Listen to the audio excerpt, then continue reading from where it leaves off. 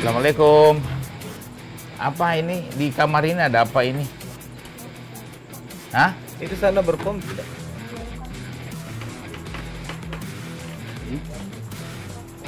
Coba periksa Pak Murtala. Cuk. Kami lihat dulu ya. Berapa orang tinggal sini?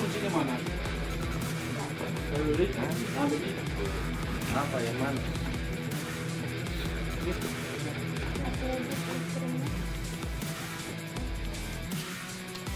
Nanti kami yang ambil. Oh, kosmetik jualan ya? Oh ini sama ini Pak Murtala. Iya sama. Kenapa ditutup itu? Yang mana? Ini semacam apa ya, Bu? Oh ini ditutupi karena habis kali. Ini apa nih? Kami menemukan dua orang wanita dewasa. Ah, di dalam kamarnya itu penuh dengan dagangan kosmetik. Untuk apa?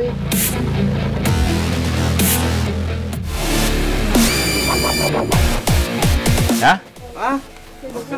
Obat gemuk, obat kurus. oh, Punya usaha siapa? oh banyak sekarang nih. Ada DP-nya itu. Tuh, tuh, tuh, tuh. Kayaknya enggak ada pak. Ah, enggak ada tuh? Ini ini impor kalau ini udah. Impor. Ini, ini, ini. Tanpa lewat BP POM ada cukainya juga. Karena order dari Jakarta. Cuman ada beberapa sampel yang kami ambil di mana tidak dilengkapi dengan eh, Balai POM eh, pengawasan obat dan makanan sehingga kami mencatat identitas daripada pemilik apa penghuni kos tersebut. Ki- Saya bawa ini ya sampel ini ya ke kantor. Terus KTP-nya ada. Ini lagi apa ini? Ini impor deh. Impor ini. Ini impor kan? Iya. Impor dari mana? Malaysia. Malaysia. Nunukan. Jadi yang order semua ini eh, ibu sendiri? Atau ada yang maksudnya agen atau apa yang fasilitasi? Saya ordernya itu sesuai. Ini kan impor dari Malaysia dari Nunukan masuknya ya? Iya. Eh, kan gini pak, eh, saya itu order sesuai pesanan orang. Hmm. Kalau misalkan konsumen itu mau order begini, saya order kan paling tak 12 pieces. Hmm. Jadi maksudnya ibu punya jaringan? Kita kan anu. Enggak, maksudnya untuk tahu bahwa ini obat eh, ataukah ini yang semacam kosmetik ini, ibu tahunya dari mana? Iya. Hah? Online, online. dan kami mengambil ada kurang lebih tiga sampel untuk kami akan tindak lanjuti apakah ini eh, layak untuk diedarkan apa tidak.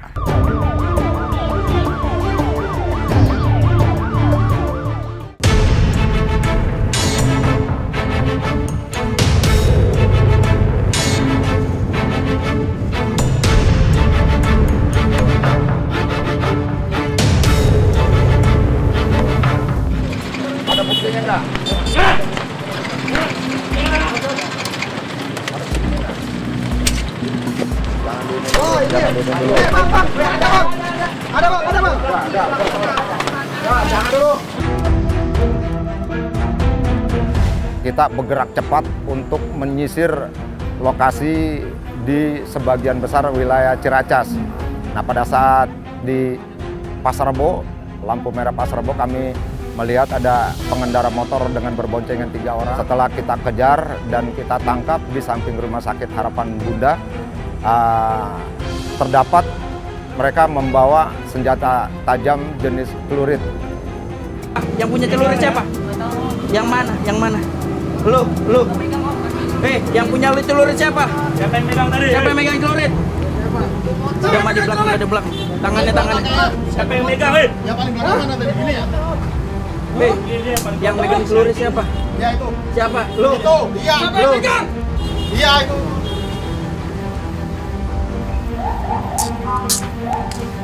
Diri. Diri.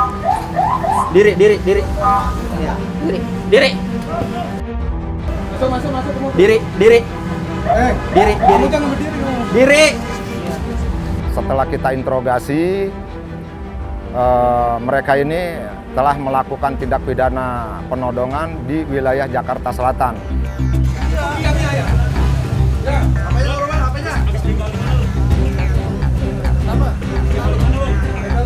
Pentok tadi. Kamu begal di mana? Oh, boy. Boy, Begal di mana, cepet? sama lu, boy. Lu habis main di depan kantin Ali nggak tadi? Ini bawa celurit buat apa? Celurit buat apa? Jujur. Udah jangan berkelit lagi, saya capek nih. Udah cepet. Mau main di mana? Bawa bawa celurit gimana ceritanya?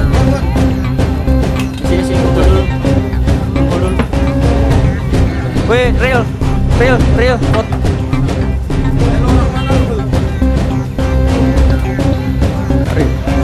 Safe. Bawa kuburan dulu, Pak.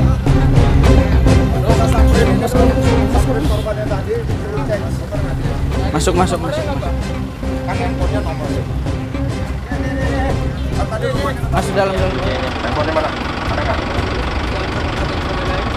Ada yang. Apaan? Duit 50 ribu di mana?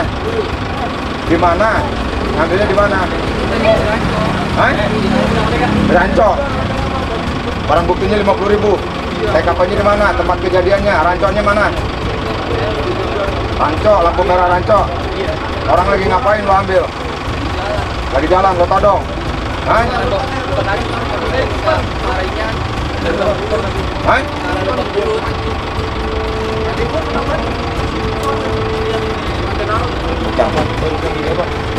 Berarti bukan. Ya, berarti ini TKP-nya lain di Ranco dia nih. Nodong di Ranco. Bocah. Orang Tanjung Barat. Iya. Setelah kita mendapat informasi lebih lanjut dan ketiga pelaku ini kita serahkan ke Polsek Ciracas untuk penyelidikan lebih lanjut.